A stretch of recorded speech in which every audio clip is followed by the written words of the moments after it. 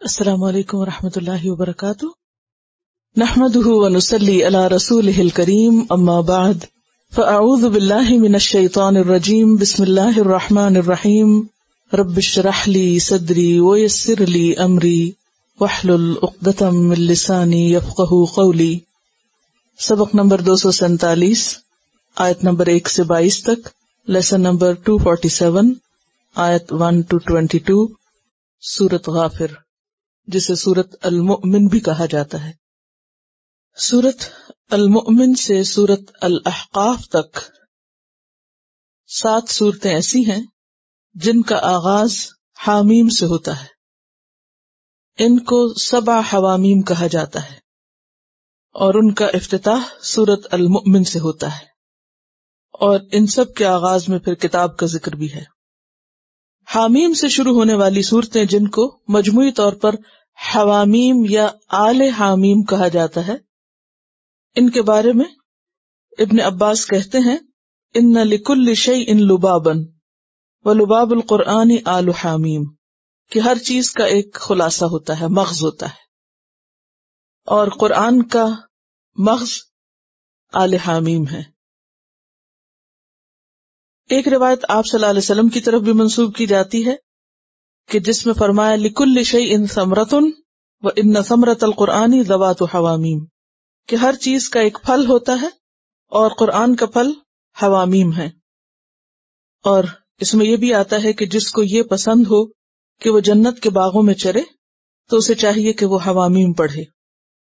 ابن مسعود کہتے ہیں کہ جب میں تلاوت قرآن کرتے ہوئے آل حامیم پر آ جاتا ہوں یعنی قرآن پڑھتے پڑھتے جب میں آل حامیم پہ آ جاتا ہوں، تو میں یوں محسوس کرتا ہوں، گویا میں باغوں میں تفریح کر رہا ہوں۔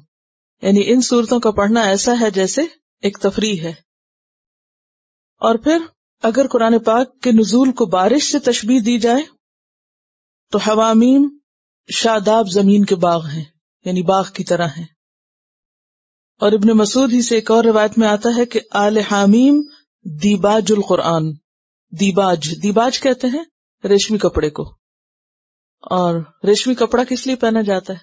سلک کب پہنتے ہیں؟ خوشی کے موقع پر زینت کے لیے. تو یہ قرآن کی زینت ہے ایک طرح سے. حوامیم یہ سورت مکی سورت ہے یعنی سورت غافر یا سورت المؤمن.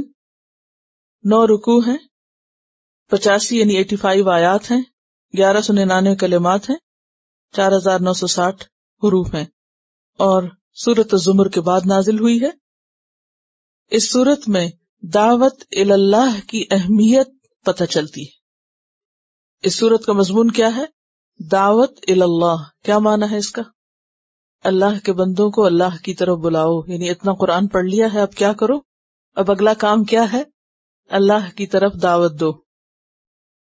تو اس صورت سے خاص طور پر یہ بات سیکھنے کو ملتی ہے۔ اور پھر اللہ کی طرف بلاتے ہوئے جو مشکلات اور رکاوٹیں پیش آئیں، ان میں اپنا معاملہ اللہ کے سپرد کر دو۔ یعنی تفویض الامر اللہ کا سبق بھی ہے اس میں۔ تو دو لفظ یاد رکھیے، دعوت اللہ اور تفویض الامر اللہ تفویض کا کیا مانا ہوتا ہے؟ سونپ دینا، سپرد کر دینا۔ ٹھیک ہے؟ بسم اللہ الرحمن الرحیم، حامیم۔ حروف مقطعات۔ اور قرآن ایسے ہی حروف پر مشتمل ہے۔ تنزیل الکتاب من اللہ العزیز العلیم۔ تنزیل مصدر ہے۔ اتارنا۔ اور تنزیل بمانا منزل ہے یعنی اسم مفول ہے۔ نازل کردہ وہ چیز جو اتاری گئی ہے۔ یعنی مستر یہاں کس معنی میں آ رہا ہے؟ مفول کے معنی میں۔ اور مفول کیا ہوتا ہے؟ جس پر کوئی کام ہو۔ تو تنزیل الکتابی کتاب کا اتارنا کس کی طرف سے ہے؟ من اللہ ہی اللہ کی طرف سے۔ تو پھر یہاں کتاب سے مراد کون سی کتاب ہے؟ قرآن مجید۔ اس قرآن مجید کا اتارا جانا اللہ کی طرف سے ہے، کسی اور کی طرف سے نہیں۔ اور کون ہے اللہ؟ العزیز، جو زبردست ہے، غلبے والا ہے۔ العلیم بہت جاننے والا ہے، علم والا ہے۔ گویا پیغام یہ دیا جا رہا ہے کہ اس کتاب کو کوئی معمولی کتاب نہ سمجھو، بلکہ یہ کتاب اللہ کی کتاب ہے۔ اور اللہ کون ہے؟ جو بہت ہی زبردست ہے، بہت قوت والا ہے، اور بہت زیادہ علم والا ہے۔ اب ذرا سوچئے کسی بھی ایسی ہستی کے بارے میں جس کے پاس دو چیزیں ہوں۔ ایک قوت اور دوسرے علم۔ ہر طرح کی قوت اور اس کے ساتھ ساتھ علم بھی۔ تو کسی بھی ایسی ہستی کی طرف سے جب کوئی حکم آئے، کوئی بات آئے، تو اس کو کتنی اہمیت دی جائے گی؟ ویسے تو یہاں اللہ سبحان و تعالیٰ کے بارے میں بات کی جا رہی ہے، لیکن اگر عام انسانوں میں سے بھی کسی کے پاس مثلاً مالی قوت ہے، جسمانی قوت ہے، تو حکومت کا عہدہ ہے، پاور ہے، اور اس کے ساتھ ساتھ بہت نالج بھی ہے تو کیا کوئی انسان اس کی بات غیر اہم قرار دے گا؟ اگنور کرے گا؟ نہیں، بہت توجہ سے سنے گا اور اس کو بہت اہمیت دے گا اور اسے قبول کرے گا اور اس پر عمل بھی کرے گا۔ تو یہ کتاب اللہ کی طرف سے ہے۔ اور پھر جہاں وہ زبردست ہے، غالب ہے، علم والا ہے، وہاں غافر الذنب بھی ہے۔ غافر کا لفظ غفر سے، اور غفر کہتے ہیں ڈھانپنے کو۔ استر مال وقایا یعنی ڈھانپنا بھی اور اس کے ساتھ بچانا بھی۔ کس چیز کو ڈھانپنے والا ہے؟ ازمب گناہوں کو۔ یعنی مخلوق کے گناہ ڈھانپ دیتا ہے، مخلوق سے احسان کرتا ہے۔ وقابل توب اور قبول کرنے والا ہے توبہ کو۔ اور توبہ کی قبولیت کس طرح ہوتی ہے؟ نمبر ایک، دعا سے۔ یعنی انسان دعا مانگتا ہے۔ کون سی دعا؟ اللہ مغفر لی یا استغفر اللہ۔ اور بعض گناہ کس طرح معاف ہوتے ہیں؟ ایون معافی مانگے بغیر بھی، کیونکہ ان الحسنات یذہبن السیئات۔ یعنی کچھ گناہ ہیں جو معاف ہوتے ہیں، توبہ کی دعا کر کے، کچھ معاف ہوتے ہیں جو اچھے کام یعنی آپ کو غلط کام کر رہے تھے اور اب آپ نے وہ چھوڑ کر اچھا کام شروع کر دیا۔ لیکن آپ کو احساس نہیں ہوا کہ آپ کو غلطی کر رہے تھے اور پھر اب اچھا کرنے لگے ہیں؟ تو بھلے آپ نے اگر خاص انداز میں توبہ نہیں بھی کی تو آپ کا اچھے کام کرنا برے کاموں کو دھونے کا ذریعہ بن جائے گا۔ اور تیسری چیز ہے مخلوق پر احسان۔ جو بندہ اللہ کے بندوں کے ساتھ احسان کرتا ہے اللہ تعالیٰ اس کے گناہ معاف کر دیتا ہے۔ کوئی دلیل؟ جیسے ایک شخص نے پیاسے کتے کو پانی پلایا، تو اس نے اپنے لیے توبہ تو نہیں مانگی تھی، لیکن اس کا یہ احسان اس کے لیے کیا بن گیا؟ گناہوں سے معافی کا ذریعہ بن گیا۔ تو قابل توب، توبہ قبول کرنے والا ہے یعنی وہ بندوں کے گناہوں کو ڈھانپتا رہتا ہے، انہیں چانسز دیتا رہتا ہے۔ اگر ہم اپنے رویوں پر غور کریں تو دن میں معلوم نہیں کتنی نافرمانیاں کرتے بازو کا ایسا ہوتا ہے نا، جب ہم پہ کوئی مصیبت آتی ہے تو ہم کہتے ہیں، ہم سے کون سا ایسا گنا ہو گیا تھا جو یہ مصیبت ہم پہ آ گئی؟ میں سوچتی ہوں، یہ سوچنا بھی ایک گناہ ہے کہ ہم سے کون سا ایسا گنا ہوا تھا۔ ہر وقت جتنے احسانات تلے ہم دبے ہوئے ہیں، اگر ہم ان کا شکر ادا نہیں کرتے یا اللہ کے ذکر سے غافل ہے تو یہ بھی ایک طرح کا قصور ہے۔ یہ بھی کوتا ہی ہے۔ اور ایسے تو معلوم نہیں کتنے ہی لمحے جاتے ہیں اور کہاں کہاں کیسی کیسی غلطیاں کرتے ہیں، احساس بھی نہیں ہوتا، اور ہمیں جب احساس بھی نہیں ہوتا تو معافی بھی نہیں مانگتے۔ اور اللہ تعالیٰ اتنا قدردان ہے کہ ہمارے بازوقت معافی مانگے بغیر بھی اگر ہمیں اس کی توفیق سے کوئی نیکی کرنے کا موقع ملتا ہے، تو اس کے عوض بھی وہ ہمارے گناہ معاف کرتا رہتا ہے۔ غافر الذنب وقابل التوبی یعنی صرف غفور الرحیم نہیں آیا، یہ صفات ایک نئے انداز سے یہاں پر آئی ہیں۔ اور وہی باغ میں سیر کرنے والی بات کو ذہن میں رکھیے کہ انسان اگر اس کے معنی کو سمجھتا ہو تو کس قدر انجوائے کرے نا؟ غافر الذنب وقابل التوبی اس کے باوجود بھی اگر کوئی توبہ نہ کرے اور رجوع نہ کرے تو پھر اس کا اپنا ہی قصور ہے۔ اور عام طور پر جو توبہ کی شرائط ہے ان میں سب سے پہلی کیا ہے؟ اخلاص۔ کہ توبہ صرف اللہ کی خاطر، اللہ کے قرب کے لیے، اور توبہ کا لفظی معنی کیا ہوتا ہے؟ رجوع کرنا، پلٹنا۔ گناہوں کو چھوڑ کر اچھے کام کرنا، برائی چھوڑ کر بھلائی کرنا، برا رستہ چھوڑ کے اچھا رستہ لے لینا۔ تو یہ کس لیے ہونا چاہیے؟ خالص اللہ کے لیے۔ اللہ کا تقرب حاصل کرنے کے لیے، اس کی سزا سے بچنے کے لیے۔ دوسری شرط کیا ہے؟ کہ ندامت، انسان شرمندہ ہو کہ یار اب میرے سے غلطی ہوئی ہے۔ تیسری چیز، گناہ کو چھوڑ دینا، اصرار نہ کرنا۔ اور اگر کسی انسان کا حق مارا ہے، تو اس سے معافی مانگنا یا اس کا حق لوٹانا۔ اور پھر آئندہ نہ کرنے کا وعدہ کرنا۔ یہ چوتھی چیز ہے۔ اور پانچویں چیز، مخصوص وقت کے اندر ہی توبہ کرنا۔ کیونکہ جب جان نکالنے کے لیے فرشتے آئیں گے، تو اس وقت پہ توبہ قبول نہیں ہوگی۔ یعنی مہلت جو اللہ نے ہمیں ٹائم دیا ہے، اس کے اندر ہی توبہ کر لے انسان۔ تو جو شخص پلٹ آئے گنا چھوڑ دے اور نیکی کے رستے پر آ جائے تو اللہ تعالیٰ اس کو معاف کر دیتا ہے۔ غافر الذنب وقابل التوبی لیکن جب انسان یہ دو صفات پڑھتا ہے اللہ کی تو پھر بازو کا ڈھیلا پڑنے لگتا ہے اچھا کوئی نیکی کر ہی لیں گے۔ کیا پتا ہم سے کون سی ایسی نیکی ہو جائے جو اللہ کو معلوم نہیں کتنی پسند آ جائے۔ تو پھر کر لیں گے۔ نہیں، اس کے ساتھ یاد رکھو، شدید القاب سخت سزا دینے والا بھی ہے۔ اس لیے اس کی رحمت سے ایسی امید نہ رکھو کہ تم معافی کا جو موقع ہے وہ بھی گنوا دو۔ شدید القاب بھی یاد رکھو کہ سخت سزا بھی دے سکتا ہے۔ لیکن اس کے ساتھ ضد فضل کرنے والا، احسان کرنے والا ہے۔ تول کا لفظ وہی ہے جیسے طول ہوتا ہے نا، لمبائی کے لیے آتا ہے۔ تو فضل اور احسان کے لیے، انعام کے لیے یہ لفظ استعمال ہوتا ہے۔ ویسے تول جو وسط کے معنوں میں آتا ہے۔ اور تولن خاص طور پر مال کی وسط و ملم یست امن کم تولن این کے حل محسنات ہی پیچھے پڑ چکے کہ جس کے پاس اتنا مال نہ ہو، اتنی وسط نہ ہو کہ وہ محسنات سے شادی کر سکے تو پھر کیا کرے؟ غلام عورتوں میں سے کسی سے شادی کر لے؟ تو ضد بہت زیادہ فضل والا ہے یعنی اس کا فضل عام ہے۔ اب یہاں آپ دیکھیے کتنی خوبصورت بات ہے۔ پہلے فرمائے، غافر الزم وقابل بیچ میں شدید القاب کر کے پھر فرمایا ضد طول پلٹ آؤ اس کا فضل اور احسان اور انعام اور قدرت اور اس کی رحمت بہت وسیع ہے، اس سے فائدہ اٹھاؤ۔ لا الہ الا ہو، نہیں کوئی الہ مگر وہی۔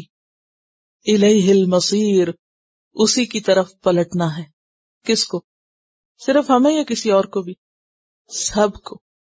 الیہ یرجع الامر کلو ہر چیز اسی کی طرف لوٹائی جائے گی۔ ہر چیز کا لوٹنا اسی کی طرف ہے۔ اور مسیر جو ہے میم سے شروع ہو رہا ہے۔ مصدر میمی یا اسم ظرف، مکان یا زمان۔ کہ لوٹنے کی جگہ وہی ہے، پلٹ کر وہیں جانا ہے۔ جیسے ہم کہتے ہیں نا، انا للہ و انا الہ راجعون۔ تو حقیقت میں الہ راجعون ہے۔ تو اس سے پتہ چلتا ہے کہ اللہ سبحان و تعالیٰ نے ہم سب پر ایک خاص رحمت کی، کتاب اتاری، ہدایت کا رستہ دکھایا۔ اس کے باوجود ہم انسان کمزور ہیں۔ بہت سی غلطیاں ہوتی ہیں۔ جانتے ہوئے بھی کہ وہ عزیز و علیم ہے پھر ہم بھول جاتے ہیں۔ پھر وہ واپس لوٹنے کو کہتا ہے کہ دیکھو، آؤ اس کی طرف۔ جو غافر الزمب ہے، قابل التوب ہے زطول ہے، اور اس کی یہ رحمت اور وسط خاص طور پر کن لوگوں کے لیے ہے؟ حضرت عمر رضی اللہ تعالیٰ عنہ کے ایک دوست تھے جو شام میں رہتے تھے۔ اور بہت متقی پرہیزگار نیک انسان تھے۔ تو حضرت عمر ان کو بھائی کہہ کے پکارتے تھے یعنی اخوہ فی الدین۔ ایک دفعہ ایک شخص شام سے حضرت عمر کے پاس آیا تو آپ نے ان کا حال پوچھا کہ میرے بھائی کا حال کیا؟ کہا کہ وہ تھوڑے رستے سے ہٹ گئے یعنی کچھ غلط کاموں میں پڑ گئے۔ تو حضرت عمر کو بہت تکلیف ہوئی۔ حضرت عمر نے کہا کہ جب تم جانے لگو واپس یعنی تم شام واپس جانے لگو تو میرے پاس سے ہو کر جانا۔ تو حضرت عمر نے ان کے نام ایک خط لکھا۔ اور خط کیا تھا؟ من عمر ابن الخطاب الا فلان یعنی نام لکھے کہ عمر بن خطاب سے فلاں کے نام۔ سلام علیکم فنی احمد علیک اللہ، میں تمہارے سامنے اللہ کی تعریف کرتا ہوں۔ اللہ لا الہ اللہ غافر الذنب وقابل التوب، شدید القابی ذی لا الہ اللہ الیہ المصیر۔ یہ خط لکھ کر خود اس کے لیے دعا کی ہدایت کی، اور پھر جو بھی آپ کے پاس لوگ تھے، ان سے بھی کہا کہ وہ اس کے لیے دعا کریں۔ یعنی ہدایت کی دعا کریں۔ اور پھر خط دے کر بھیج دیا۔ جب خط وہاں پر پہنچا، اس شخص کے پاس اس نے کھولا تو اس کی عجیب حالت ہو گئی۔ وہ بار بار روتا اور خط پڑتا روتا اور خط پڑتا یہاں تک کہ مکمل توبہ کر لی۔ اور جب آپ کو خبر ملی تو آپ بہت خوش ہوئے اور فرمایا، جب تم اپنے کسی بھائی کو دیکھو کہ راہ رات سے اس کا قدم پھسل گیا ہے۔ اپنے کسی بھائی کو دیکھو کہ راہ راست سے اس کا قدم پھسل گیا ہے، تو اس کے ساتھ ایسا ہی معاملہ کرو یعنی اس کی ہدایت کی دعا کرو، اور اس کے خلاف شیطان کے مددگار نہ بنو۔ اس کے خلاف، پھسلنے والے بھائی کے خلاف شیطان کے مددگار نہ بنو۔ اس کا کیا مطلب ہے؟ انسان کیسے شیطان کا مددگار بنتا ہے؟ ہوں اس کو برا بھلا کہنا شروع کر دیتا ہے۔ اب آپ کسی غلط کرنے والے کو برا بھلا کہنا شروع کر دیں تو اس کا نتیجہ کیا ہوگا؟ وہ توبہ کر لے گا۔ وہ اور زد میں آ جائے گا، اور دور چلا جائے گا، اور شیطان کو اپنے کام کا اور موقع مل جائے گا۔ تو جو شخص اپنے لیے اللہ کا قرب چاہتا ہو، اس کے اندر پھر اتنی خیرخواہی آ جاتی ہے کہ وہ اپنے دوسرے بہن بھائیوں کے لیے بھی کیا چاہتا ہے؟ یہی خیر چاہتا ہے۔ اور اللہ کی طرف بلانے کے لیے نفرت کام نہیں آتی۔ اخلاص اور خیر خواہی کام آتی ہے۔ پھر فرمایا، ما یو فی آیات اللہ۔ نہیں جھگڑا کرتے اللہ کی آیات میں یعنی قرآن میں۔ اور جدال پیچھے آپ پڑھ چکے ہیں، کس کو کہتے؟ کسی پہ غالب آنے کے لیے اس کے ساتھ بحث مباحثہ کرنا۔ اللہ کا فرو مگر وہ لوگ جنہوں نے کفر کیا۔ یعنی جو اللہ کو نہیں مانتے یا اس کی کتاب کو نہیں مانتے، وہی دراصل اللہ کی کتاب میں بحثیں کرتے ہیں، الٹے سیدھے اعتراض کرتے ہیں نکتا چینی کرتے ہیں اور اس کے احکامات کو مان کے نہیں دیتے۔ اور بحث کا مطلب بھی اصل میں یہی ہوتا ہے کہ ماننا نہ پڑے۔ فلا یا غرور کا تقلب ہم فل بلاد پس نہ دھوکے میں ڈالے تجھ کو ان کا گھومنا پھرنا شہروں میں، ملکوں میں۔ یعنی بسا اوقات بہت ذہین لوگ، دنیاوی اعتبار سے بہت کامیاب لوگ ایسے تکبر کا شکار ہو جاتے ہیں کہ وہ اپنے آپ کو بہت بڑی چیز سمجھتے ہوئے اپنی ذہانت اور اپنے علم اور اپنی قابلیت کی وجہ سے اللہ کی کتاب میں بحثیں کرنے اور اس میں بھی نقص نکالنے سے نہیں چکتے۔ اور پھر ان سارے غلط کاموں کے باوجود دنیا میں ترقی بھی کرتے جاتے ہیں اور دنیاوی لحاظ سے بہت خوشحال بھی ہوتے ہیں۔ جب انسان ایسے لوگوں کو دیکھتا ہے کہ بہت انٹلیکچل ہیں، بہت سکسیسفل ہیں لائف میں، بہت شہرت ہے، دنیاوی اعتبار سے ہر چیز ہے ان کے پاس، اور اتنی بڑی بڑی باتیں کرتے ہیں اور پھر بھی کامیاب ہیں، تو عموماً پھر کیا ڈر ہوتا ہے؟ کہ انسان ایسے لوگوں سے انفلوئنس ہو جائے۔ ایسے لوگ عموماً لوگوں کو انفلوئنس کرتے ہیں کہ جو دنیاوی اعتبار سے کامیاب ہوں اور پھر بڑے منہ کے ساتھ قرآن کے اوپر بڑی بڑی باتیں کرنے والے۔ فرمایا کہ ان کی دنیاوی ترقی اور شان و شوکت اور ان کا ملکوں میں گھومنا، پھرنا، سیر و تفریح کرنا، سیاحت کرنا، تجارت کرنا اور بظاہر دنیاوی اعتبار سے کامیاب ہونا، تمہیں کسی دھوکے میں نہ ڈالے کون سے دھوکے میں؟ کہ یہ اللہ کے بہت پسندیدہ ہیں اور یہی درست لوگ ہیں اور یہی کامیاب ہیں اور یہی ٹھیک ہے اور یہی رستہ درست ہے اور جو یہ قرآن کا مطلب نکال رہے ہیں، وہی دراصل اصل مطلب ہے۔ اور اس چودہ سو سال کے بعد تو اب تبدیلی ہونی ہی چاہیے قرآن کے احکامات میں، وغیرہ وغیرہ۔ ابتدائی طور پر تو یہ آیت اہل مکہ کے بارے میں اتری، کیونکہ ان کا پیشہ کیا تھا؟ تجارت۔ تجارت کے لیے وہ سردیوں میں، یمن کی طرف اور گرمیوں میں شام کی طرف سفر کرتے جس کے بارے میں سورت قریش میں بھی آتا ہے۔ رحلت الشتائی والصیف اور تاجر پیشہ ہونے کی وجہ سے بہت مالدار بھی تھے۔ تو اس مال نے، خوشحالی نے ان کے اندر کیا پیدا کر دیا؟ تکبر پیدا کر دیا۔ اور اس تکبر کی وجہ سے انہوں نے اللہ کی کتاب کو جھٹلایا۔ اور جھٹلانے کے ساتھ ساتھ اس پر اعتراضات کیے۔ اس میں مین میخ نکالنے کی کوشش کی۔ لیکن یہ آیت ہر اس شخص کے بارے میں ہے کہ جو اللہ کی آیات میں بے وجہ کی بحثیں کرے۔ اللہ کی کتاب ہدایت کے لیے آئی ہے۔ اس کا طریقہ عام طور پر کیا ہوتا ہے؟ کہ قرآن کی ایک آیت کو لینا اور پھر اس آیت کو اس کے سامنے لا کے رکھنا جس میں بظاہر مضمون جو ہے کچھ مخالف نظر آتا ہو۔ یعنی تدبر کے بغیر دو مختلف معنی رکھنے والی آیات کو آمنے سامنے لا کے یعنی جیسے جھگڑا کرانا ان کا، تو یہ جدال ہے، ٹھیک ہے؟ ایسا کرنا صرف ان کے لیے منع نہیں تھا، ہمارے لیے بھی منع ہے۔ قرآن میں جدال کفر ہے، کیونکہ یہاں پر یہ کس کی صفت بتائی گئی ہے؟ ما یہ فی آیات اللہ الزین کا فرو یہ کام ایمان والے نہیں کیا کرتے۔ یہ کام ایمان والوں کو زیب نہیں دیتا۔ یہ وہی کرتے ہیں کہ جو بہت اختلاف میں مبتلا ہیں۔ وہ ان الدین اختلف فل کتاب لفی شقاقم بعید سورت البکرا صحیح مسلم کی ایک روایت میں آتا ہے کہ ایک روز آپ صلی اللہ علیہ وسلم نے دو لوگوں کی آواز سنی یعنی اونچی آواز سنی، جو قرآن کی کسی آیت کے بارے میں جھگڑ رہے تھے۔ آپ صلی اللہ علیہ وسلم غزبناک ہو کر باہر تشریف لائے۔ آپ کے چہرے مبارک سے غصے کے آثار محسوس ہو رہے تھے۔ فرمایا کہ تم سے پہلے کی امتیں اسی سے ہلاک ہوئی کہ وہ اللہ کی کتاب میں جدال کرنے لگی تھی۔ اللہ کی کتاب میں اختلاف کرنے لگی تھی۔ اللہ کی کتاب کے بارے میں بحث و مباحثے میں پڑ گئی یہ صحیح مسلم کی روایت ہے۔ تو اس سے کیا پتہ چلتا ہے؟ قرآن مجید ہدایت کے لیے آیا ہے۔ اس کو ہدایت ہی کی نیت سے پڑھنا چاہیے۔ اگر کوئی بات سمجھ نہ آئے تو اسے سمجھنے کی کوشش کرنی چاہیے۔ لیکن اگر سمجھ نہ آئے اور کوشش کے باوجود بھی نہ آئے تو اللہ کی کتاب کو نہیں، اپنی عقل کو بلیم کرنا چاہیے، کوسنا چاہیے۔ کیونکہ یہ کتاب کس کی طرف سے ہے؟ العلیم کی طرف سے ہے۔ اور ہمارا علم اس کے مقابلے میں کیا ہے؟ ہماری عقل کیا، کچھ بھی نہیں۔ تو ہمیں حق کیا پہنچتا ہے کہ ہم اس کے بارے میں جھگڑے اور بحثیں کریں؟ یا ایسی کوئی کوشش کریں کہ دیکھو قرآن میں بھی کنٹرڈکشن ہے۔ یا کسی بھی قسم کی ایسی حرکت جس سے قرآن کو یا قرآن کے حکم کو غیر اہم بنانا مقصود ہو۔ تو یہ صاحب ایمان لوگوں کا کام نہیں ہوا کرتا۔ کذبت قبل قوم نوح۔ ان سے پہلے قوم نوح جھٹلا چکی۔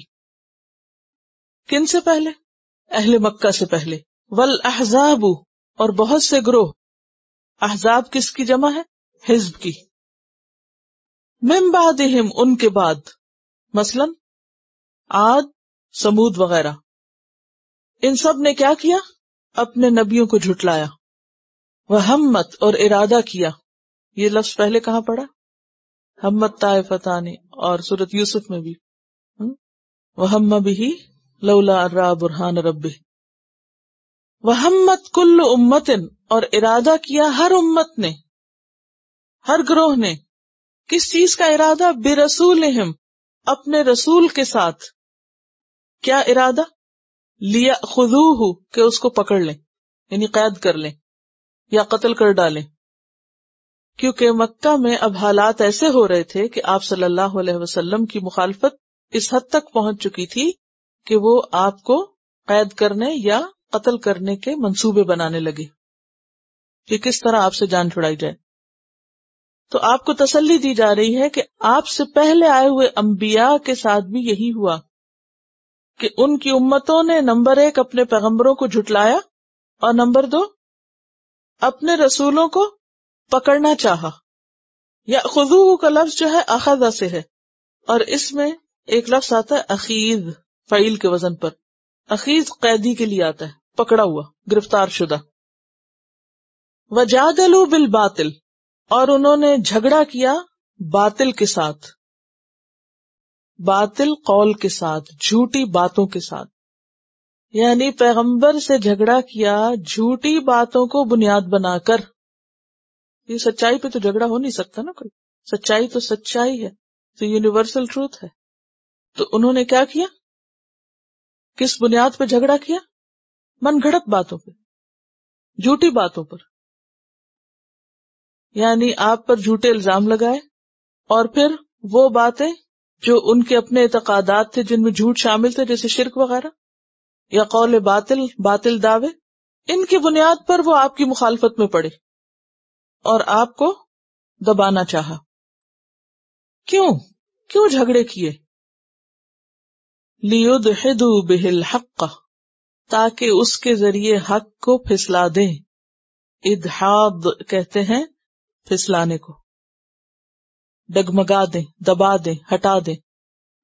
اب پھسلانا کیا ہے؟ یعنی ایسی باتیں کریں جھوٹی کہ جس کے ذریعے حق دب جائے اور حق اپنی جگہ سے ہٹ جائے۔ یعنی کسی بھی چیز کو کھسکانا، پھسلانا، ہٹانا، اسی طرح ہوتا نا۔ تو انہوں نے اللہ کے کلام کو کس کے ذریعے ہٹانے کی کوشش کی؟ جھوٹی باتوں کے ذریعے، جھوٹے پروپیگنڈے کے ذریعے۔ یعنی اتنا جھوٹ بولا جائے کہ حق جو ہے وہ اس میں دب جائے کہیں۔ حق کو انہوں نے ایک طرح سے مشتبہ بنا کے اس کو ہٹانا چاہا۔ مثلا ہم دیکھتے ہیں کہ سورت ہو تھرٹی ٹو میں آتا ہے، یا انوح قد جادل تنافا اکثر تجدالنا جب نو علیہ السلام ان کے اعتراضات کے جواب دیتے تو اس کو انہوں نے کیا قرار دیا؟ جدال قرار دیا۔ فخذ تو ہم تو میں نے انہیں کو پکڑا۔ کن کو؟ جنہوں نے باطل کے ذریعے حق کو نیچا دکھانے کی کوشش کی۔ فقی فقا نہ اقابی تو کیسے ہوا میرا اقاب یعنی سزا؟ اقاب کا لفظ جو عقب سے ہے عقب کس کو کہتے ہیں؟ ایڑی کو۔ ایڑی جو ہے وہ پاؤں کے پیچھے ہوتی ہے نا، پچھلے حصے میں ہوتی۔ تو جزا بھی عمل کے بعد آتی ہے، ٹھیک ہے؟ تو لفظی معنی اقاب کا جزا ہوتا ہے، لیکن استعمال صرف بری جزا کے لیے ہوتا ہے، ٹھیک ہے؟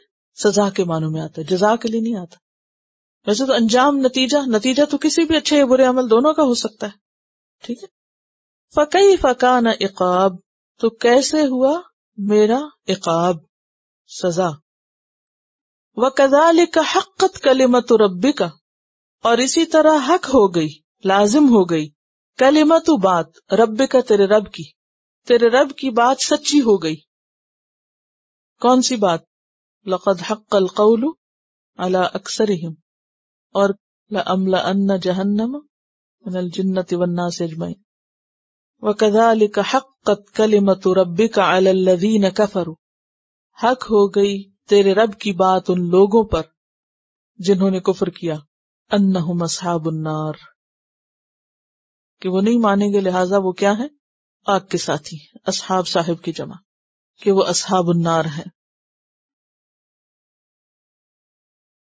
الذین یحملون العرش، ان کو کروبی کہا جاتا ہے، کاف، رے، کیاف یعنی کش والا، اور رے پشد اور واؤ اور بے، یہ، ان فرشتوں کا نام۔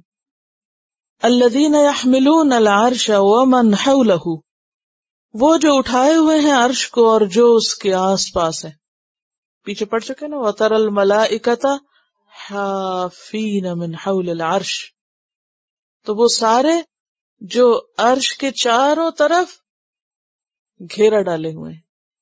حولہ وہ کیا کرتے ہیں؟ یسبحون بحمد ربہم وہ اپنے رب کی حمد کے ساتھ اس کی تسبیح کرتے رہتے ہیں۔ ہر آن سبحان اللہ پڑھتے رہتے ہیں۔ وہ یو امین اور وہ اس پر ایمان رکھتے ہیں، اللہ کو مانتے ہیں۔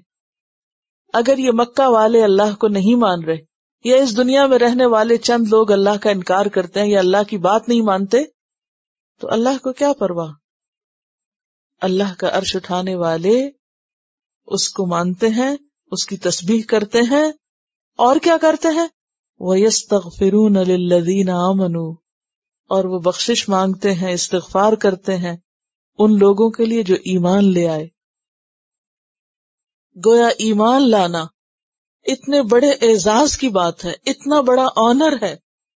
اس قدر خوش قسمتی کی بات ہے کہ انسان کو ملائکہ مقربین کی دعائیں نصیب ہوتی ہیں۔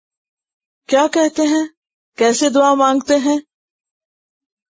ربنا وسعت كل شيء الرحمتن اے ہمارے رب، تو وسیع ہے ہر چیز پر یا چھایا ہوا ہے ہر چیز پر، رحمت کے اعتبار سے، و علم اور علم کے اعتبار سے۔ یعنی تیری رحمت اور علم ہر چیز کو اپنے احاطے میں لیے ہوئے۔ وسیعت کلر سے ہے سات ان سے ہے۔ وسعت تین طرح کی ہوتی ہے۔ مکانی یعنی کسی جگہ کا کھلا ہونا، حالت، اور اسی طرح وسط فیل کے اعتبار سے بھی۔ یعنی کسی کام میں وسط تو یہاں یہ جو حالت ہے، اس کی طرف اشارہ ہے۔ وسع کل شعی رحمت و علم کہ اللہ اپنے صفت رحمت اور علم میں ہر چیز پر احاطہ کیا یعنی اللہ کی رحمت ہر چیز پہ چھائی ہوئی ہے۔ اور اللہ کا علم ہر چیز کو اپنے احاطے میں لیے ہوئے۔ یہ اور کہاں سے پتہ چلتا ہے؟ آیت الکرسی سے۔ ولا یحیطون بشیء من علمه الا بما شاء۔ وسع کرسیہ السماوات والارض اور اسی طرح رحمت کی جو وسط ہے، اس کے بارے میں بھی آتا ہے۔ پیچھے آپ پڑھ چکے فغفر للذین۔ پس بخش دے ان لوگوں کو، تابو جو توبہ کر لیں۔ قابل التوب ہے نا؟ وہ خود بھی قابل التوب ہے۔ اور یہ فرشتے بھی ایمان والوں کی توبہ معافی کی دعائیں کرتے رہتے ہیں۔ لیکن کن لوگوں کی جو توبہ کر لیں؟ وقت تبا سبھی کا اور تیرے راستے کی پیروی کرے، تیری طرف آ جائیں، تو ان کے پچھلے گنا معاف کر دے۔ کس قدر خوبصورت آئے تھے کہ جو شخص غلط کام چھوڑ کر، برے راستے کو چھوڑ کر نیکی کے رستے پر آ جاتا ہے، تو اس کے لیے ملائکہ دعائیں کرنے لگتے ہیں کہ اللہ ان کے پچھلے گناہوں کو معاف کر دے۔ اور سبیل سے مراد تیرا راستہ یعنی تیرا دین، تیرا طریقہ، وہ راستہ جو تیری طرف لے کے جاتا ہے۔ سراط اللہ دینا انعامتا علیہم۔ وقہم عذاب الجحیم اور بچا لے ان کو جہنم کے عذاب سے۔ یہاں وقہم میں خالی جو قاف ہے نا، زیر کے ساتھ، یہ ہے فیل امر۔ کی جیسے وقنا بھی پڑھتے نا، وقنا عذاب النار۔ تو اسی طرح قی جو ہے، یہ فیل امر ہے۔ اور بچا ان کو جہنم کے عذاب سے۔ کیونکہ جہنم کا عذاب جو ہے، ان عذاب کانا غرامہ کیونکہ کوئی بھی شخص جو اللہ العلی العظیم کی نافرمانی کرتا ہے، اور اس کو ناراض کرتا ہے، اور اس کو غضبناک کرتا ہے، اور کوئی بھی ایسی بات سوچتا ہے یا ایسی بات منہ سے نکالتا ہے یا عمل غلط کرتا ہے کہ جس کی وجہ سے اس کی پکڑ لازم ہو جاتی ہے، تو پھر اس مشکل سے نجات حاصل کرنے کے لیے بھی اللہ نے راستہ کھولا ہے۔ اور وہ کیا ہے؟ توبہ کا راستہ، واپس لوٹنے کا راستہ، اللہ کی طرف پلٹنے کا راستہ۔ اور پھر اللہ نے ان فرشتوں کو جو اتنے معزز اور مکرم ہیں، ان کو حکم دے رکھا ہے کہ تم ان کے لیے دعائیں کرو۔ اب آپ دیکھیے کہ یہ رشتہ جو ایمان والوں میں، اہل ایمان اور اللہ کا اتباع کرنے والوں میں اور ان فرشتوں میں ہے، وہ کیا رشتہ ہے؟ کس چیز کا رشتہ ہے؟ ان فرشتوں کو ایمان والوں سے کیوں محبت؟ ایک کیا چیز کامن ہے؟ ایمان، وہ بھی ایمان والے ہیں اور ہم بھی ایمان والے ہیں۔ اور پھر صرف ایمان ہی کی بات نہیں فخر للذین تابو۔ ایمان کے ساتھ مسلسل اللہ کی طرف پلٹنے کی عادت انابت اور اللہ کے رستے پہ چلنا۔ منسلح کا طریقہ نیت لبفی علم اور علم کے رستے پہ چلنا بھی اتنا معزز کیوں ہوتا ہے؟ کیونکہ اس کے ذریعے انسان اللہ کی اطاعت کے طریقے سیکھتا ہے۔ وہ راستے انسان کو اللہ کی طرف جانے میں مدد دیتے ہیں۔ اور یہ تعلق جو ہے، ایک خیر خواہی کا تعلق ہے۔ یعنی ایمان کے رشتے میں جتنے بھی لوگ بندھے ہوئے ہیں، وہ ایک ایسا رشتہ ہے، اللہ کی فرما برداری یا اللہ کے رستے پہ چلنے والوں کا آپس کا تعلق اتنا بہترین تعلق ہے کہ وہ پھر خود غرض نہیں رہتے۔ وہ صرف اپنے لیے نہیں سوچتے، وہ اپنے ساتھ چلنے والے دوسروں کے بارے میں بھی سوچتے وہ صرف اپنی نجات کے حریث نہیں ہوتے، وہ اوروں کے بھی خیر خواہ ہوتے ہیں۔ اب آپ دیکھیے ان فرشتوں کو جن کو خود اتنا بڑا مقام ملا ہوا انہیں کوئی ضرورت ہے؟ وہ ہمارے لیے دعائیں کریں۔ کیا ضرورت ہے؟ کوئی مجبوری؟ ہم انسان تو اگر کسی انسان کے لیے دعا کریں تو شاید ہمیں کوئی لالچ ہو کہ ہاں اس کے بدلے ہمارے گناہ معاف ہو جائیں گے۔ وہ کہتے ہیں نا، جب کوئی بندہ اپنے مسلمان بھائی کے لیے دعا کرتا ہے تو فرشتہ آمین کہتا ہے اور کہتا ہے کہ اس کو بھی وہی ملے جو دوسرے کے لیے مانگ رہا ہے۔ صحیح مسلم کی روایت ہے کہ جب مسلمان اپنے مسلمان بھائی کے لیے اس کی غیر حاضری میں دعا کرتا ہے تو فرشتہ اس کی دعا پہ آمین کہتا ہے اور اس کے لیے دعا کرتا ہے کہ اللہ تجھے بھی یہی دے جو تو اس مسلمان کے لیے مانگ رہا ہے۔ تو ہم تو اگر کسی مسلمان کے لیے دعا کرتے بھی ہیں تو اس کا ہمیں کوئی فائدہ پہنچتا ہے۔ لیکن ان فرشتوں کو کیا فائدہ پہنچتا ہے؟ جن کو جو ملنا تھا مل گیا، اس سے آگے کیا مقام ہوگا جو کسی کو ملے؟ کہ اس کو عرش کے قریب جگہ مل جائے۔ اور پھر فرشتے تو ویسے ہی معصوم ہے کوئی گناہ بھی نہیں ان کا۔ تو اتنی بڑی عنایت اور اتنا بڑا مقام اور پھر ان کی خیر خواہی اور محبت ان لوگوں کے لیے جو اللہ کے رستے پہ چلنے والے ہو، کتنی بڑی صفت اس سے ہمیں بھی ایک بات پتہ چلتی ہے کہ سچے مومن وہ ہوتے ہیں، اللہ کے مقرب بندوں کی صفت کیا ہوتی ہے کہ وہ دوسروں کے لیے خیر خواہ ہوتے ہیں، دوسروں کے لیے بھی تڑپتے ہیں۔ وہ صرف اپنی بھلائی نہیں چاہتے، بلکہ وہ دوسروں کی بھلائی بھی چاہتے ہیں۔ کس قدر خوبصورت صفت ہے یہ۔ اور اس سے یہ بھی پتا چلتا ہے کہ دوسروں کے لیے دعا کرنی چاہیے ہمیں۔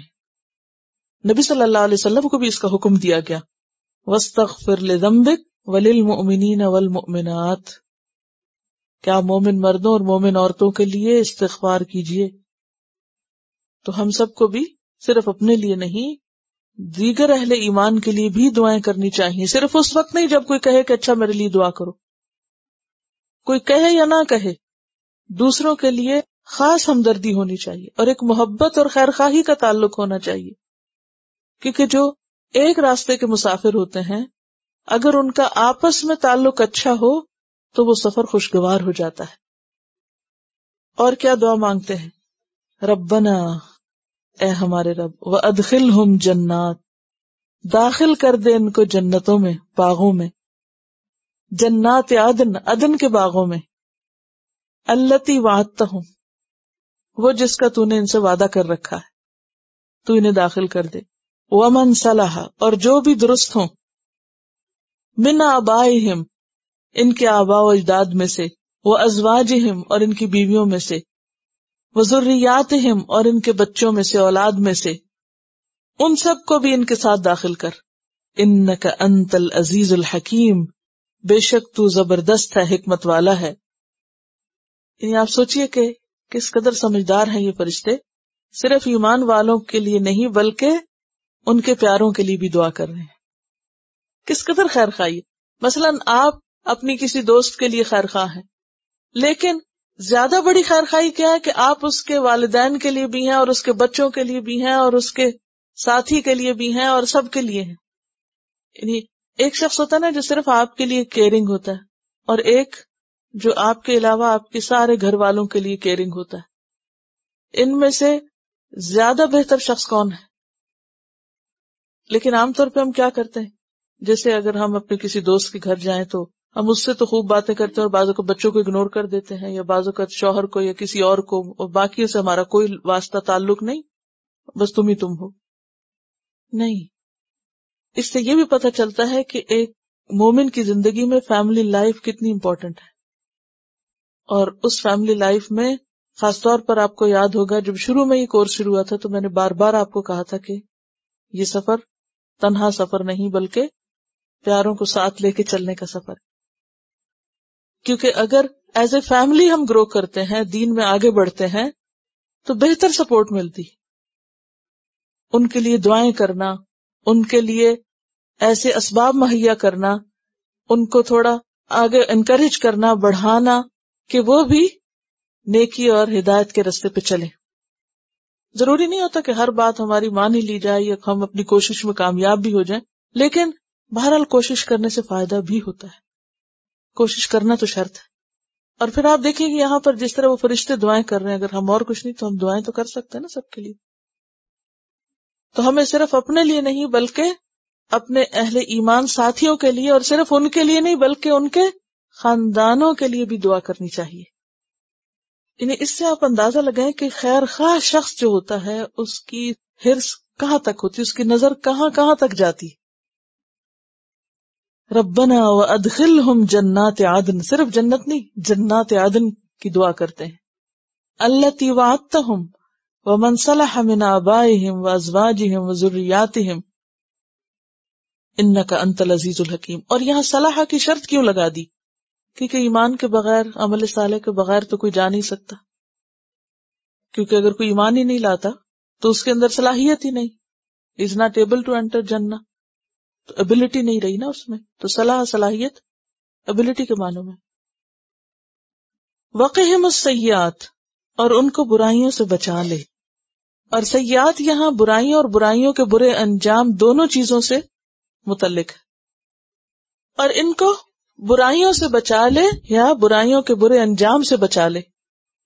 یعنی جب تک زندہ ہیں، برے کاموں سے بچیں اور جب مر جائیں تو پھر جو غلطیاں ہوں گی، ان کی سزا سے بچ جائیں۔ وہ منتق سیات یوم اور جس کو تو بچا لے برائیوں سے یعنی برائیوں سے مراد یہاں کیا ہے؟ برائیوں کے انجام سے، گناہوں سے، گناہوں کی سزا سے مراد ہے۔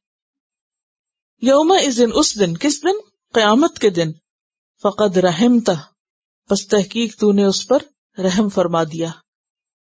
جس کو تو نے برے انجام سے بچا لیا، اس پر تو نے رحم فرمایا۔ فمن عن النار و ادخل الجنت فقد فاز۔ تو یہاں بھی ایک طرف جنت میں جانے کی دعا ہے اور دوسری طرف برے انجام سے بچنے کی دعا ہے، کیونکہ اصل کامیابی یہی۔ وزال کا الفوز العظیم۔ اور یہی دراصل بڑی کامیابی ہے، بہت بڑی۔ الفوز العظیم کیا ہے؟ صفت موصوف ہے۔ ان الذین، بے شک وہ لوگ کفرو جنہوں نے کفر کیا۔ یونادونا وہ پکارے جائیں گے۔ کون پکارے گا ان کو؟ ملائکہ۔ کب؟ قیامت کے دن۔ پکار کے کیا کہیں گے؟ لمقت اللہ اکبر من مقتکم انفسکم۔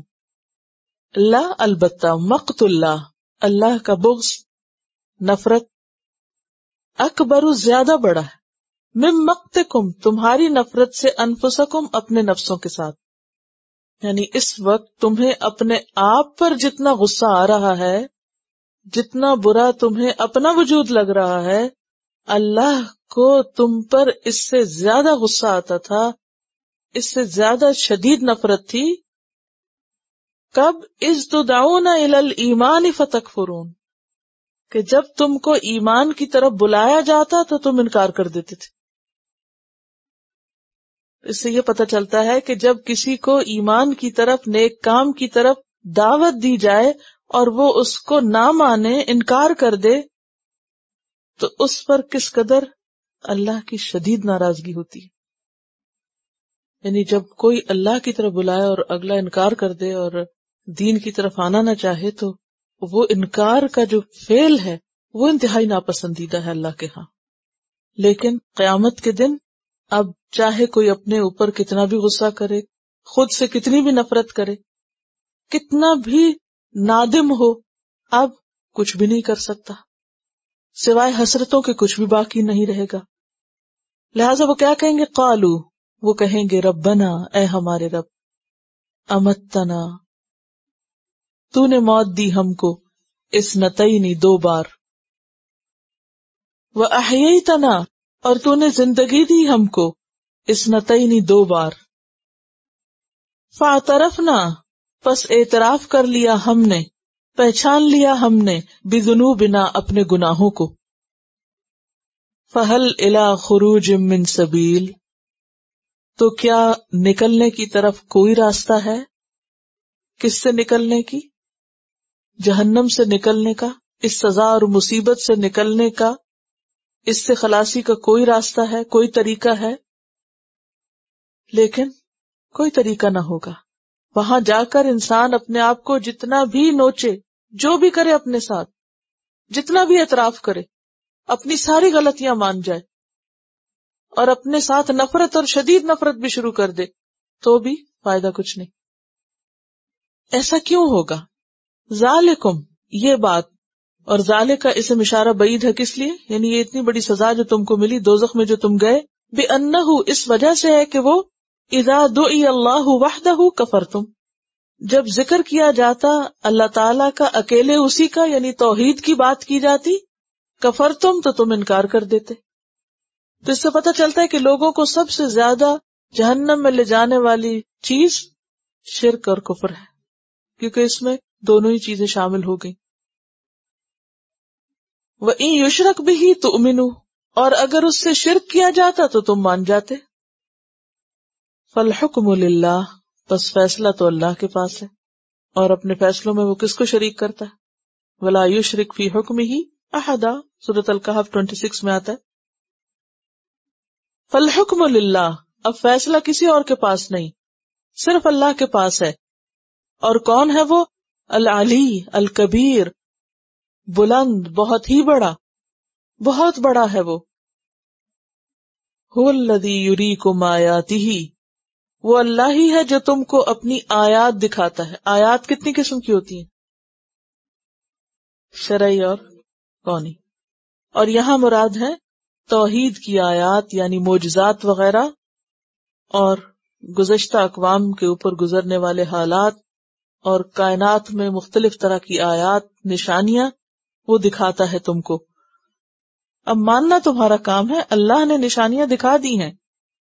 اور ان نشانیوں میں سے ایک نشانی کیا ہے؟ وہ یونزل القم منسما رزقا۔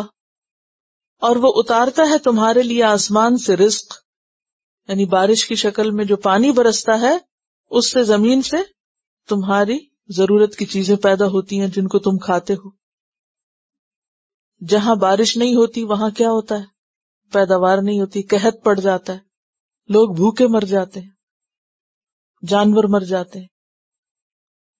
تو یہ اللہ کی بہت بڑی نشانی نہیں جو اللہ تعالیٰ اس زمین پر دکھاتا بھی رہتا ہے وقتاً فوقتاً۔ کہ کچھ علاقوں میں جہاں زندگی ہوتی ہے لیکن بارشیں نہیں ہوتی تو پھر کیا ہوتا ہے؟ سب ختم ہو جاتا ہے۔ وہ ماں یہ تزک کروں اور نہیں نصیحت پکڑتا اللہ میونیب مگر جو لوٹتا ہے، کس کی طرف؟ اللہ کی طرف، ایمان کی طرف، ہدایت اور اطاعت کی طرف۔ فد اللہ مخلصین اللہ الدین پس پکارو اللہ کو، مانگو اللہ سے۔ کیسے؟ دین کو اس کے لیے خالص کرتے ہوئے۔ کس سے خالص کرتے ہوئے؟ شرک سے۔ یعنی اللہ کے سوا کسی اور کو نہ پکارو، بلکہ صرف اللہ ہی کو پکارو۔ اسی لیے آپ دیکھیے کہ بعض دعائیں ایسی دعائیں ہیں کہ جن میں مانگا کچھ بھی نہیں گیا۔ صرف اللہ کی توحید کا ذکر ہے۔ مثلاً، لا الہ الا اللہ لا شریک لہ، اور جو حج کے موقع پر، جس میں آتا ہے کہ افضل الدعا جس سے سارے پیغمبروں نے مانگا۔ لا الہ الا اللہ لا شریک لہ، یہ کلمہ ہاں؟ تو جب میں نے پہلی دفعہ یہ حدیث چھوڑی میں نے اس میں مانگا تو کچھ بھی نہیں۔ صرف اللہ کی توحید کا ذکر ہے۔ تو توحید کا ذکر کرنا مخلصین اللہ الدین ہونا ہی اللہ کے قریب ہونے کا ذریعہ ہے۔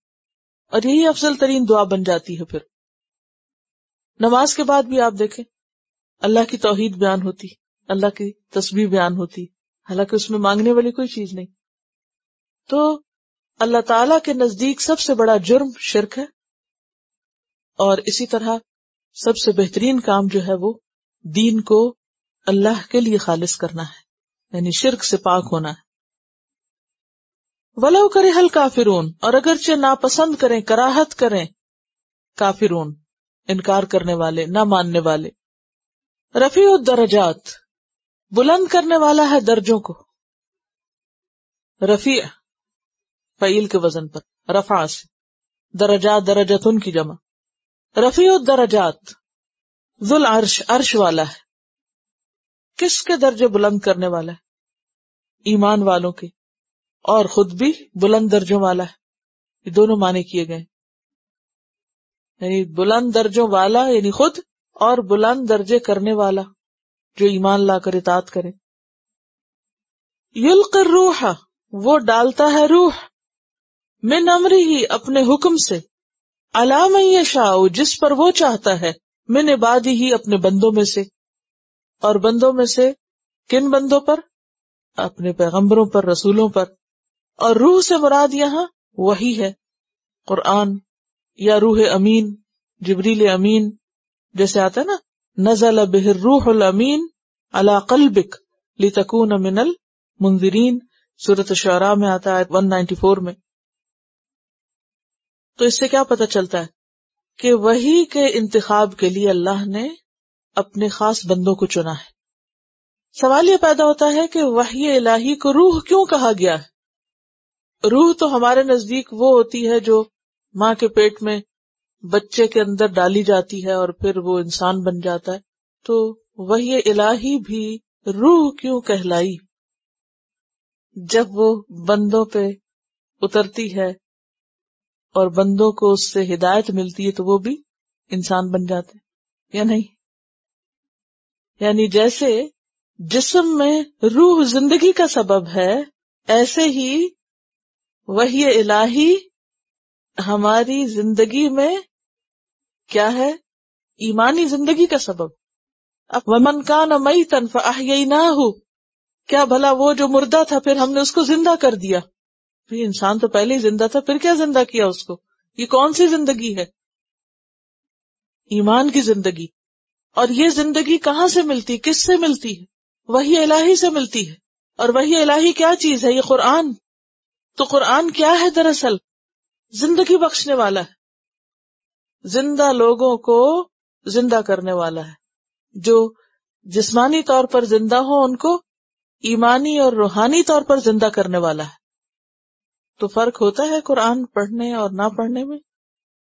کوئی زندگی اور موت کا فرق لگتا ہے؟ بہت بڑا فرق لگتا ہے۔ وہ کیفیت ہو ہی نہیں سکتی قرآن پڑھے بغیر جو قرآن پڑھ کے ہوتی۔ ہر روز ایک نئی زندگی ملتی ہے یہ۔ یہ وہی الہی کیا ہے؟ روح۔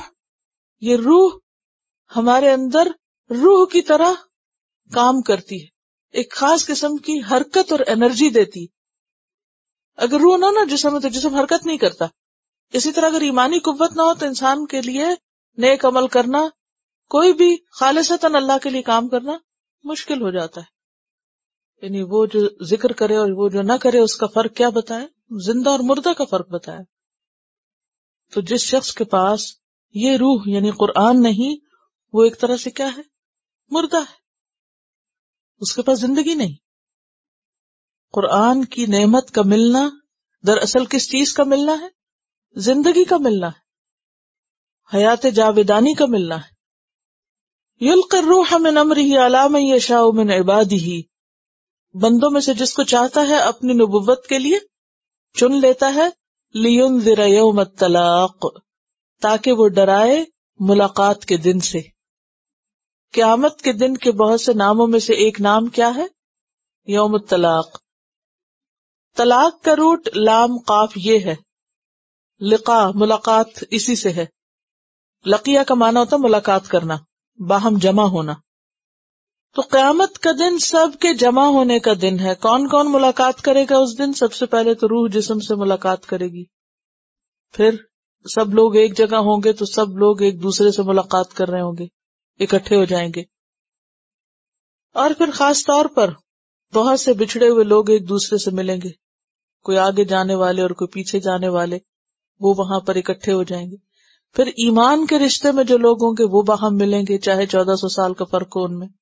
پھر اسی طرح ظالم اور مظلوم بھی ملیں گے وہاں، قاتل اور مقتول ملیں گے وہاں۔ کہ کس جرم میں مارا تھا مجھے، کیوں ظلم کیا تھا مجھ پر۔ اور اسی طرح باقی لوگ بھی۔ وہ لوگ جو دنیا میں ایک دوسرے سے بھاگے ہوئے ہیں، جرم کر کے وہ وہاں پر آمنے سامنے آ جائیں گے۔ امتیں اور پیغمبر ملیں گے۔ ان سے پوچھیں گے جو میں نے پیغام دیے تھے، کیا کیا؟ کیا آپ نے پیغام پہنچا دیا؟ پیغمبر کہیں گے پہنچا دیے، تم نے کیا کیا؟ تو طلاق کا مطلب تھا آمنے سامنے آنا، ملاقات۔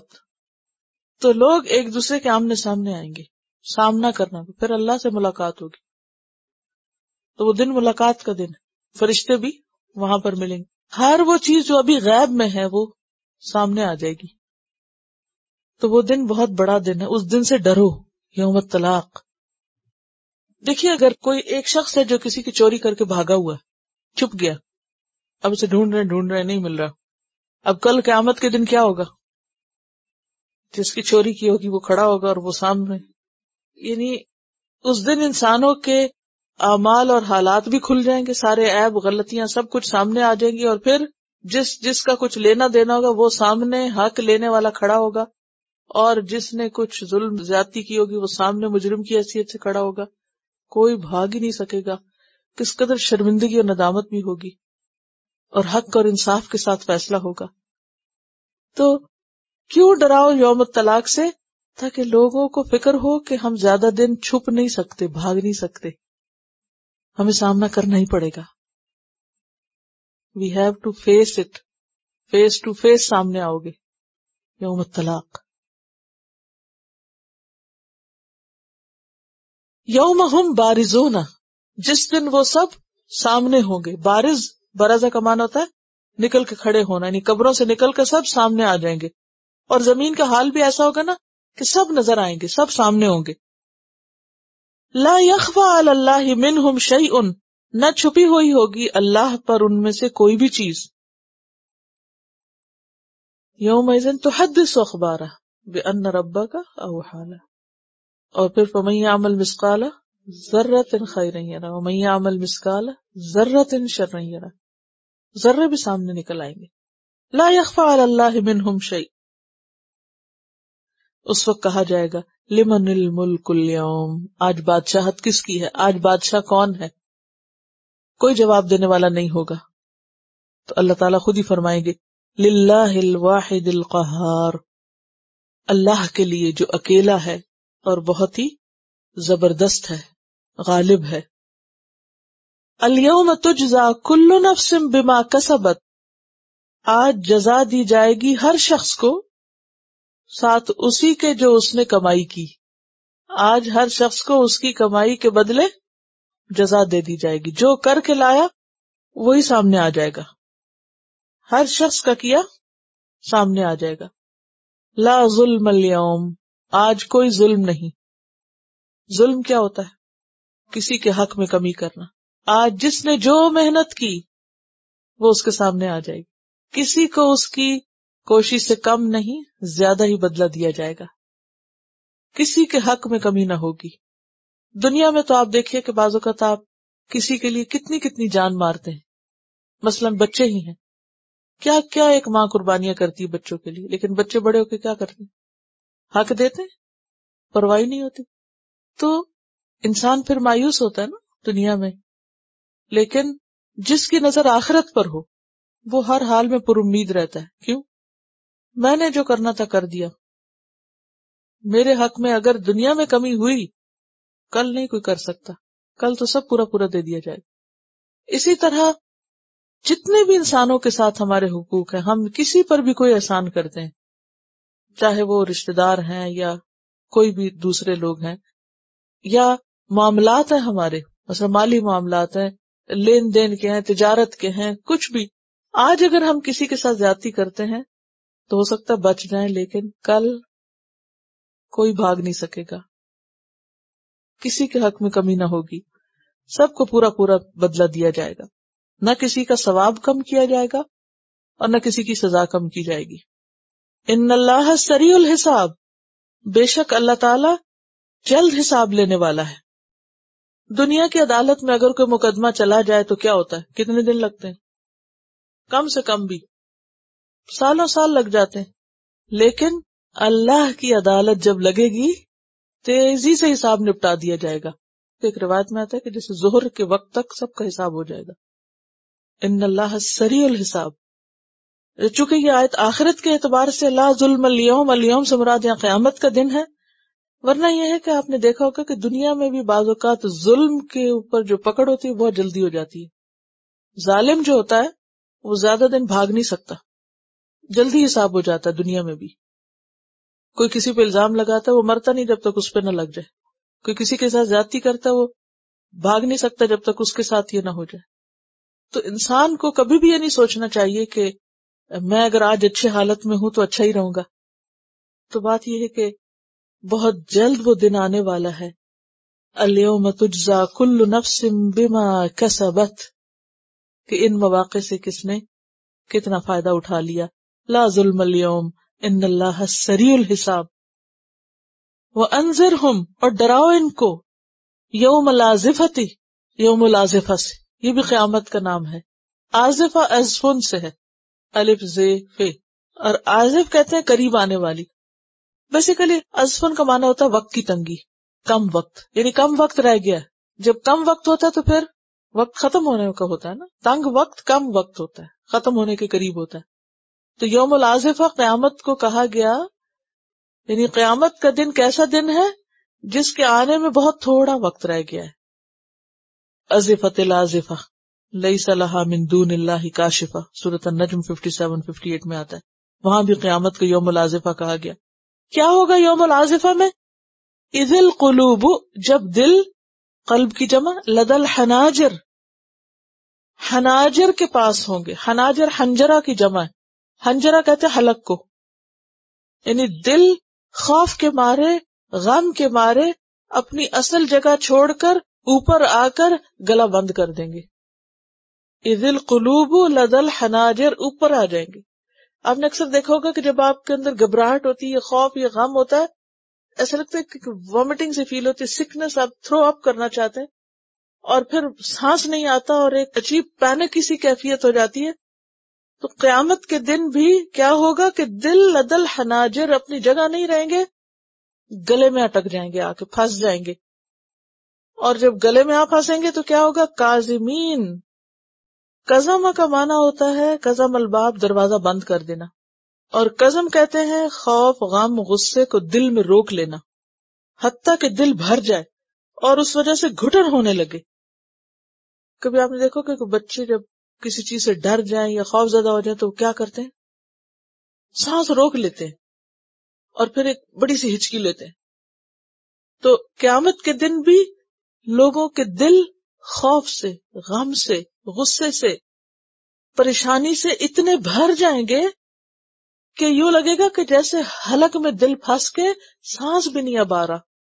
کازمین یعنی اتنی شدید ایموشنل اسٹیٹ ہوگی بندے کی کہ اس کے بس میں کچھ نہیں ہوگا۔ یہ اس وقت کی کیفیت ہوتی جب انسان بے بس ہو جاتا ہے۔ کبھی اگر آپ پر ایسی کیفیت آئی ہو، غم کی تو آپ نے دیکھا ہوگا کہ آپ اپنے آپ کو روکتے ہیں کہ نہ رو یا نہیں غم کرو، مگر آپ روک نہیں سکتے۔ یعنی خود بخود آپ کا سانس رکنے لگتا ہے۔ آؤٹ آف کنٹرول وہ انضر ہوں یوم الزفتی اور یہ دور کی بات نہیں، یہ بہت قریب کا وقت ہے۔ عزل قلوب الدل حناجر کازمین اور یہ تجربہ موت کے وقت تو ہر ایک ہوتا ہی یوم العظفہ بڑی قیامت کا دن ہے، لیکن حدیث میں آتا ہے کہ من ماتا فقد قامت قیامت ہو جو مر گیا اس کی قیامت تو آ ہی گئی۔ اور موت کے وقت بھی اسی طرح سانس بمشکل نکلتا ہے۔ مال ظالمین من حمیم ولا شفیع یطاع نہیں ظالموں کے لیے کوئی قریبی دوست، کوئی تڑپنے والا دوست حمیم ہم سے۔